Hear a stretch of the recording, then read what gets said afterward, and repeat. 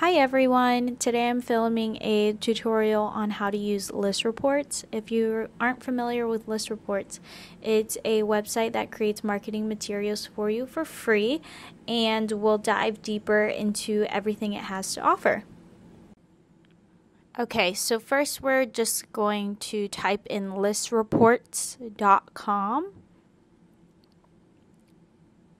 and you'll be brought to their home page. So we're going to sign up now. Um, we're going to do it as if you didn't have an account. And we're just going to go ahead and say we're an agent.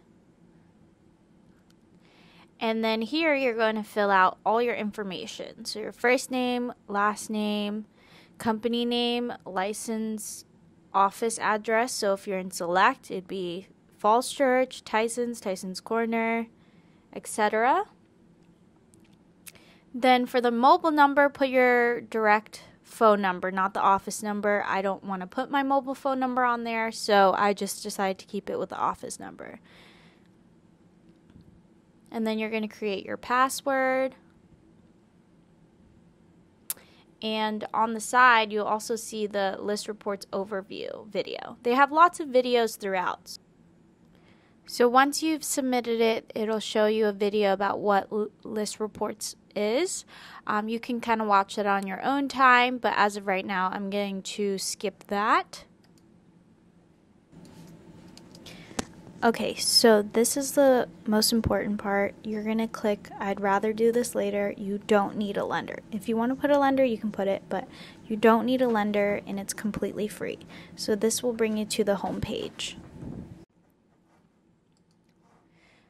Okay, so you're going to hit marketing kits on the side and you're going to go to new marketing kit to start your new report. So this is just to update your profile. You can do that or you can just go ahead and start creating your list report. Okay, so you're going to put in the property address of the listing you'd like to create a flyer for. So I'm just pasting in an address from Fairfax Realty Select's uh, website. And we're just going to do the bare basics of not putting anything in. Um, basically, whatever it does automatically. You're going to hit submit and then it's going to process. So it'll say congratulations. It'll also send you an email and it, it notice how in the button side you can't click on anything and it says processing. So it's going to send you an email once it's ready. Okay, so now we're going to set up your profile. So I just hit profile on the side menu and we're going to fill in some basic info. Um, some of it should already be uploaded, but I'm going to go ahead and upload my headshot. Now this photo needs to be professional because it will be on all your listing flyers and marketing materials. So I'm going to go ahead and upload that. Now that that's uploaded, you can put a website if you like, and also be sure to include your license number in that slot. I'm not an agent, so I don't have one. Um, so for the company part, I'm just uploading the logo as well, and be sure to include your office phone number in the company information too. And then once you're done with everything, you're just going to go ahead and hit save.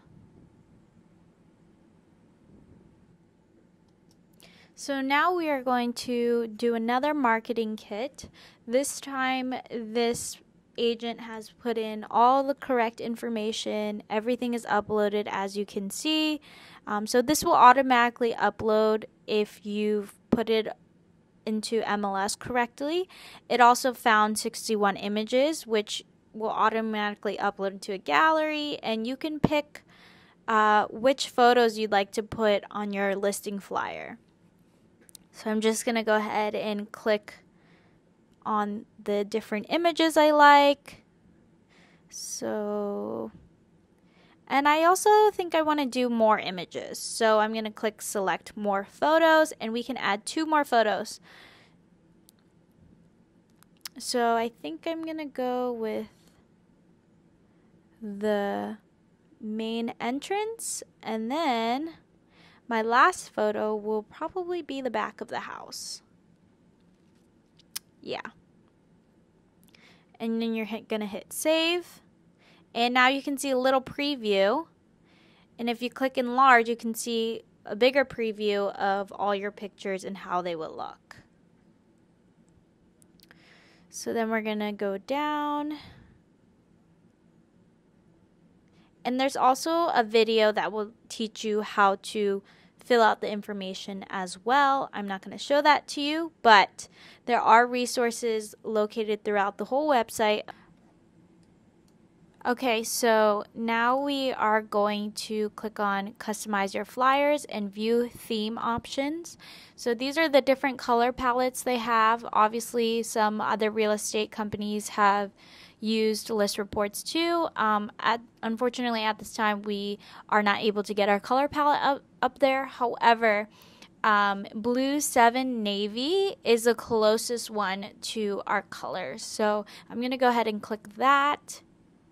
Blue 7 navy. And I'm going to make this my default color theme. So for um, the next flyers I make, it will automatically choose this theme. And then I hit submit and then it's it's going to say it can be expedited and you can go ahead and click expedite. It's not going to charge you anything and you're going to hit OK.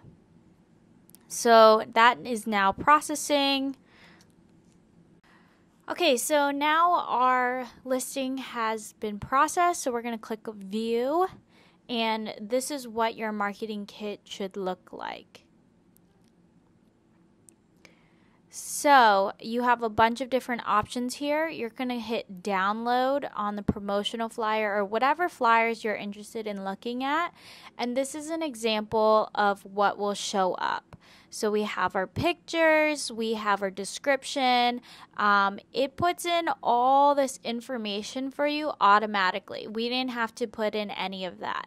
So it pulls it from MLS and it'll tell you, you know, what restaurants are nearby, the square footage of the house, um, basically all the information the buyers are going to want to see from your listing. Um, so let's look at a couple other things. We have postcards. Now these are jumbo postcards. So the cool thing about this is it actually downloads a bunch of different ones. So we have coming soon, just listed, just sold, under contract, um, promotional postcard, and this is an example of what it looks like. Unfortunately, some of this cannot be customized. Um, but it is really easy and fast and you don't have to wait on us to get back to you with postcard designs, etc. I think this is a really great tool all our agents should use. So hopefully you've enjoyed this tutorial to ListReports. It's pretty simple, pretty easy. Again, they have videos on their website that go even more in depth about how to do things. You don't need a lender, but if you did decide to put a lender, you have more options to property websites, other features that um, is included uh, when you provide a lender. So, thanks for watching, and I hope this was helpful.